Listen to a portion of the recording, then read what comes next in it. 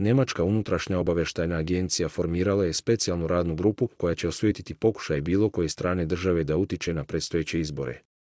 Ovo je odlučno nakon prošlomesečnog upozorenja na mogućnost pojačane špionaže i sabotaža koje kako navode sponzoriše Rusija. Prema njihovim tvrdnjama, mogući su pokušaj dezinformacija, sajber napada, špionaže ili sabotaža u oči prevremenih izbora zakazanih za 23. februar naredne godine posle pada tročlane koalicije kancelara Olafa Šolca, preneo je Reuters. Zbog sukoba u Ukrajini, Rusija verovatno ima najviše interesa da utiče u svoju korist na izbore, navela je agencija u saopštenju, dodajući da motri i na druge aktere. Kako je ova služba dodala, oni bi mogli da pokušaju da aktivno podrže neke kandidate ili partije ili da diskredituju druge, kao i sam demokratski proces.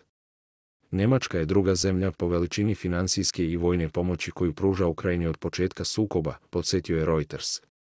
Služba je upozorila da bi akti sabotaže, osim fizičke štete, mogli imati i psihološki efekat na birače, kao i na donosioce političkih odluka. Upozoreno je također na to da Rusija sve više širi distribuciju proruskih i antizapadnih narativa, u nadi da će podeliti nemačko društvo i umanjiti podršku Ukrajini.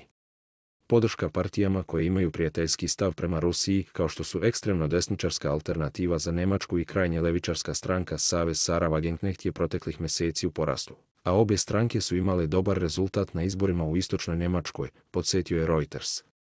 U aprilu je visoki zvaničnik alternative za Nemačku optužen da je primio novac od jednog proruskog medijskog sajta, što je odlučno negirao, podsjetila je britanska agencija.